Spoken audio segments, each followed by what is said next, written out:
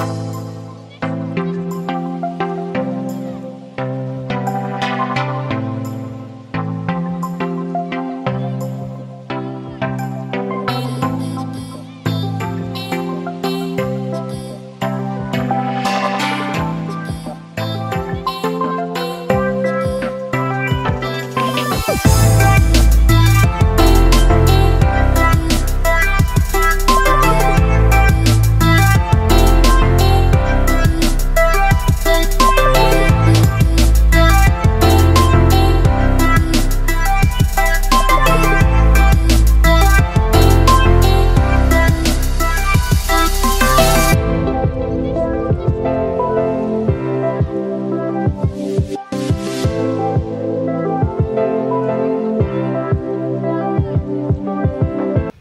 Willkommen zurück. Wir haben ein aktuelles Projekt, haben wir hier eine Porsche 993 in Uni Schwarz. Ähm, Frontschutz wurde schon mal lackiert, aber der Rest ist noch weitestgehend Originallack. Ähm, wurde auch weiter nie gepflegt, ist wohl schon vom Besitzer selber aufbereitet worden, mehr oder weniger. Ansonsten hat er noch nie wirklich viel Pflege gesehen.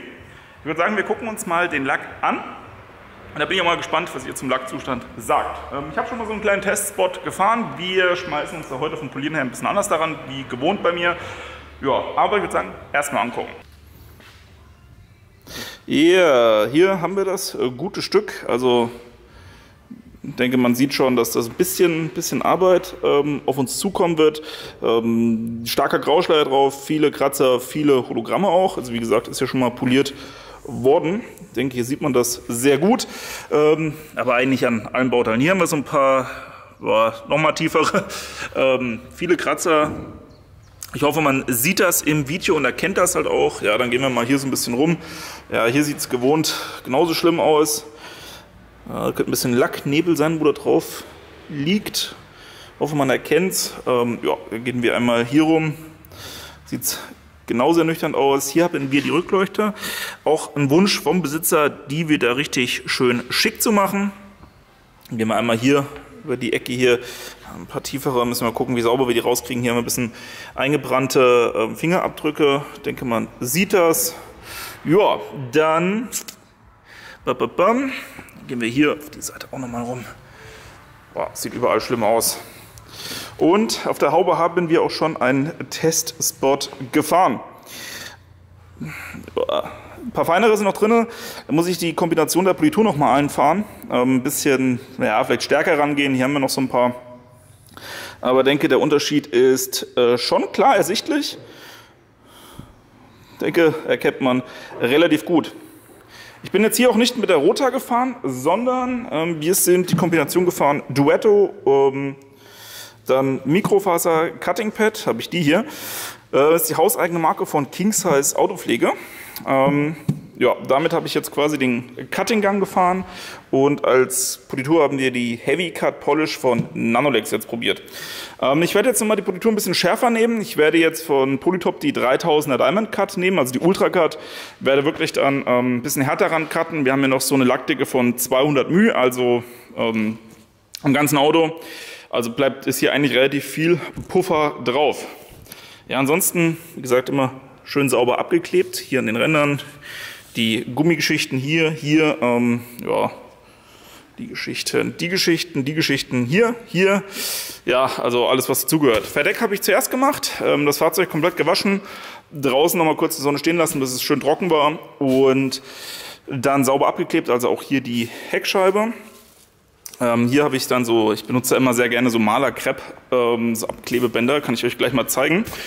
Und als Verdeckimprägnierung von A1, mal was ganz anderes, habe ich jetzt da gehabt und habe ich hier vernommen. Also gucken wir uns danach an, wie äh, die Textileigenschaften sind, also Prägnierungsbereich.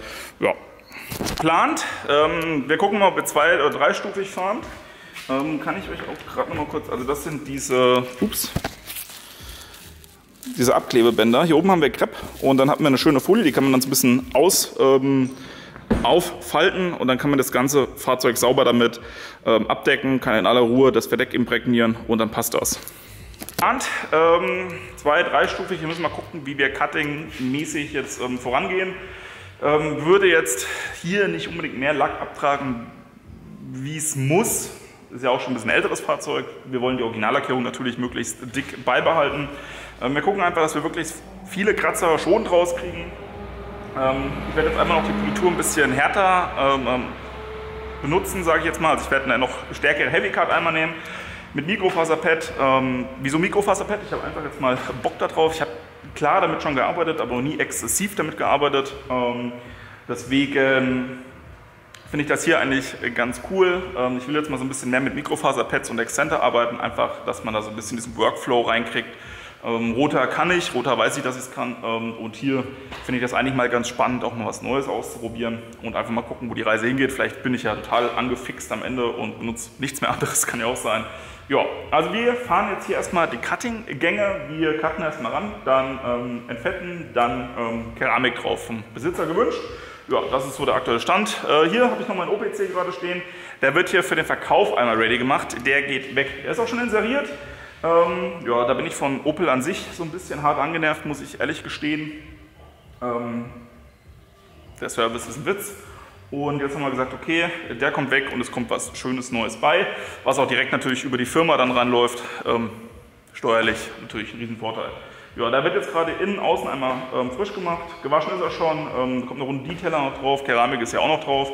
Ähm, das Leder wird nochmal gereinigt, die ganzen Kunststoffgeschichten innen werden nochmal schick gemacht und ja, dann bleibt er so lange stehen, bis ein neuer Besitzer kommt. Ja, das ist so der aktuelle Stand und dann schauen wir mal, wo die Reise hingeht. Aber wir schmeißen uns erstmal an den Porsche hier und äh, dann sehen wir uns wieder. Los geht's!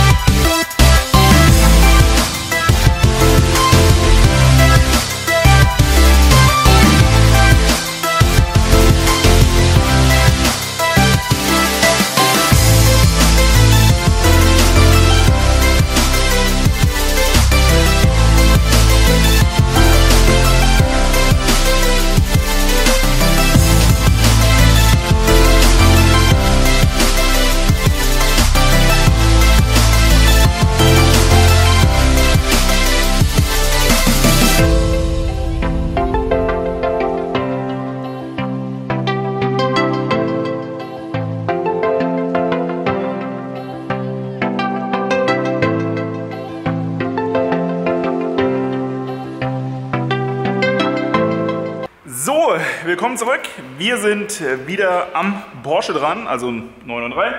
Wir haben ihn jetzt dreimal poliert. Ähm, kann ich ja mal ganz kurz die, Moment, jetzt muss ich mal kurz mich bewegen, die Waffen der Wahl zeigen.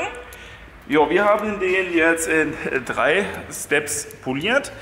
Ähm, wir sind erst ähm, mit dem Cuttinggang vormarschiert. So, ich drehe mal ganz kurz die Kamera. Quasi in der ersten Kombination die Heavy Cut ähm, von Nanolex ausprobiert mit Mikrofaserpad. Es sind dann auf die Polytop 3000 Diamond Cut übergegangen, weil die doch nochmal wesentlich mehr ähm, Bums hatte, jetzt speziell Mikrofaserpad. Äh, dann sind wir rotativ gefahren, die Medium Cut Polish.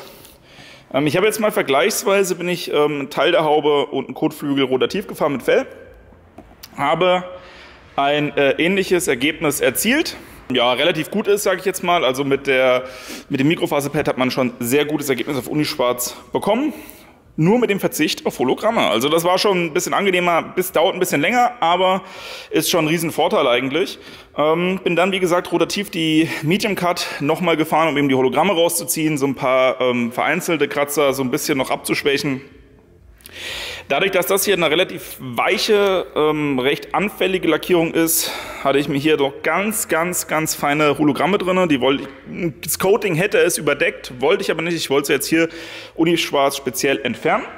Sind dann mit der Duetto und einem medium harten Pad nochmal die Anti-Reflex, Anti-Hologramm-Politur jetzt eben gefahren. Ohne Scheiß, die geht wirklich echt gut. Ähm, Verarbeitung super easy und ja, einen super schönen Look. Also hier muss ich sagen, sieht schon wirklich klasse aus und vor allem, wenn man auch weiß, wie es eben vorher aussah.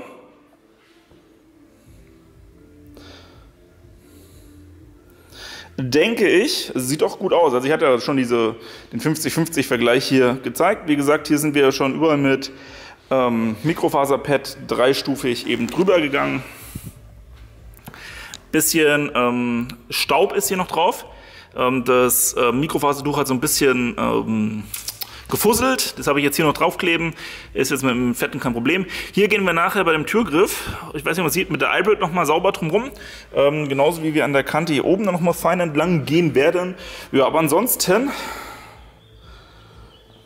also denke, das sieht auch soweit schick aus. Ne? Also gerade wenn ich jetzt hier nochmal so gucke, das sieht schon also der ist bisher wirklich, denke, hoffe, dass ihr das genauso seht, relativ gut geworden. Ähm, bin ich jetzt den ganzen Tag am Polieren dran gewesen. Wie gesagt, drei Stufen. Ich will mich da jetzt ein bisschen mit Mikrofaserpads ein bisschen mehr befassen, einfach, dass ich da diesen Skill so ein bisschen mehr für mich entwickle. Ähm, klar habe ich schon damit gemacht, also gearbeitet, habe jetzt auch ein paar da, ähm, habe jetzt aber speziell nochmal, weil ich die empfohlen bekommen habe, von Maguire's Team Mikrofaser Cutting Pads bestellt. Ähm, in dem Fall hatten wir jetzt hier verwendet von Kings Autopflege die Hausmarke der Mikrofaserpads. Die gingen auch wirklich gut. Und also das Ergebnis spricht da eigentlich für sich, weil der war schon ziemlich zerhämmert, ähm, gerade so im unteren Türbereich und eben auch, wie gesagt, die Haube, weil sich da auch schon jemand dran ausgelassen hat und so. Also insgesamt gut. Klar haben wir jetzt hier auch noch so ein paar vereinzelte Kratzer drin, allerdings haben wir hier die Originallackierung und hier finde ich es eigentlich relativ wichtig, diese möglichst gut zu erhalten. Ich würde jetzt hier nur sehr ungern schleifen wollen, gerade bei so älteren Geschichten, ähm, wie jetzt hier so ein alter 993er Cabrio, ist ja relativ gefragt und hier würde ich jetzt nur sehr ungern großflächig oder kleinflächig schleifen, um vielleicht ein, zwei Kratzer rauszukriegen. Ich würde jetzt schon hier möglichst viel Lackierung, also möglichst dick versuchen zu erhalten, ähm, gerade wenn es noch original ist. Finde ich hier sinnvoller, wie mich jetzt an teilweise ganze Bauteile zu schleifen, um die Kratzer rauszukriegen denke, das wäre hier einfach angebrachter. Mal gucken, wie ihr das seht, könnt ihr auch nochmal berichten.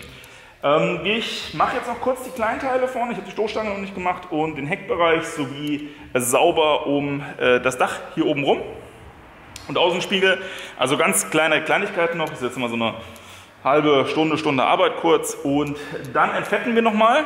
Und dann hauen wir hier Ultima drauf. Das ist vom Besitzer, möchte hier unbedingt Keramik haben. Das Fahrzeug wird zwar nicht oft bewegt, aber wenn er möchte, kriegt er das. Ähm, genau, wie gesagt, dann hauen wir da Ultima drauf, dann die Felgen noch, ähm, nochmal Fetten polieren, beschichten, Reifenpflege drauf und Leder müssen wir noch reparieren. Das kann ich euch nochmal kurz zeigen. Ähm, da müssen wir nämlich auch noch das äh, Leder an der einen Wange reparieren. Sieht man hier relativ gut, hier haben wir so einen leichten Abrieb. Ähm, wir werden von äh, der Kante hier oben äh, diese ups, Fläche quasi hier so entlang ähm, reparieren. Sprich, werden die Fläche hier anschleifen, entfetten werden die Farbe uns anmischen, ähm, werden das äh, Repair drauf machen mit dem Hybridhärter, wie ich das schon mal in dem G-Modell-Video gesagt hatte. Dann werden wir da sauber auftupfen, also sauber abkleben hier rum, ähm, auftupfen und abtrocknen lassen. Dann machen wir eine Schicht Topcoat noch drauf und dann sieht das auch schick aus. Wir werden das wahrscheinlich so ein bisschen ähm, diesen, diesen Teilbereich hier werden wir auch noch mitmachen. Werden wir es also quasi sauber, ups, hier rum abkleben und das mitmachen. Denn wir haben hier auch so sehr unschöne Stellen. Das sieht natürlich kacke aus, wenn das hier super schick aussieht und äh, die Äumel lassen wir dann noch drin. Ja, ansonsten das Leder hatte ich jetzt schon mal gereinigt. Das äh, muss man natürlich auch machen, aber ähm, ja, das machen wir auf jeden Fall auch noch. Aber nichtsdestotrotz, ich mache jetzt erstmal kurz Feierabend. Wir haben jetzt schon wieder 18.32 Uhr und machen dann morgen weiter. Bin jetzt schon gespannt mit dem Ergebnis. Ich persönlich jetzt schon mal sehr zufrieden. Ähm, ich bin mal gespannt, wie ihr das seht. Schreibt es doch mal in die Kommentare, wie ihr das Ergebnis bisher so findet. Ähm, ich rede auch schon wieder sieben Minuten. Geht wieder, wird wieder ein langes Video, wie ich sehe. Ähm, ja, ich würde sagen, Kleinteile entfetten, beschichten und wir sehen uns zum Leder oder den Felgen dann wieder. Los geht's!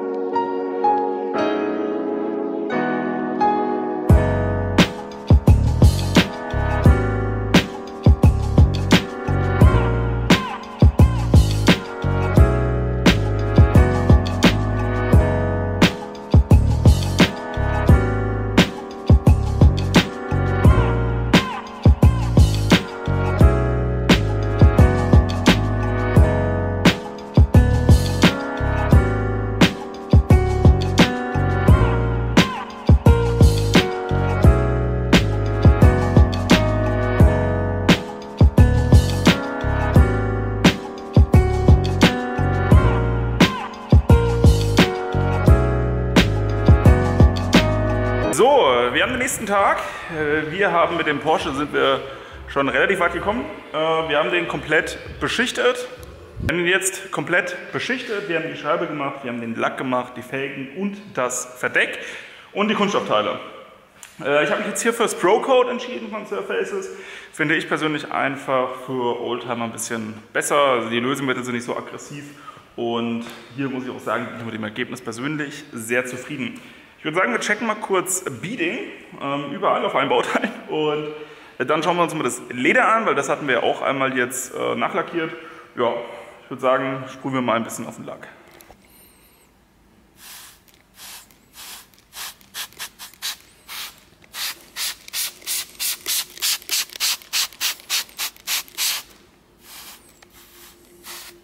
Ja, also auf Lack sieht schon mal gut aus. Mal kleine, super runde, super schöne Mini-Perlen. Ähm, Scheibe auch, haben wir das wie gewohnt Vitro Ultima drauf gemacht. Ähm, das sieht auch wirklich sehr schicki aus. Ähm, Verdeck haben wir ja auch äh, drauf gemacht, dass ähm, die Verdeckimprägnierung von äh, Dr. Wack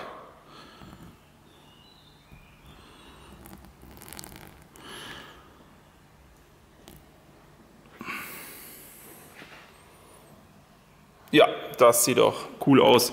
Ähm, ja, schön imprägniert. Fließt schön ab.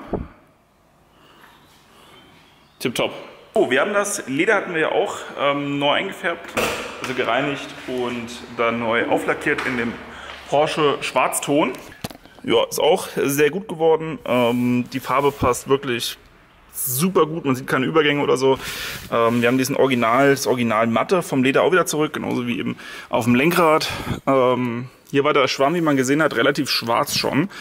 Äh, kann daran liegen, dass A, das Leder schon relativ alt ist. Das heißt, wir haben hier natürlich bei der Reinigung auch ein bisschen Topcoat aufgetragen. Allerdings, wenn ich so Stellen wie hier oben sehe, ähm, und hier gehe ich davon aus, dass das Lederlenkrad schon einmal nachlackiert wurde mit passenden Produkten. Allerdings, ähm, hier ist die Haltbarkeit wohl nicht so gut. Ähm, wir haben also ein Stück weit äh, die alte neue Farbe wieder abgetragen. Ähm, auf den Sitzen war das nicht so krass. Ähm, ja, ansonsten sehr schick. Wir haben hier den Conditioner dann drauf gemacht von LMX Ledermax. Und ich muss auch sagen, ähm, dieses Anfassgefühl ist halt schon wirklich richtig gut.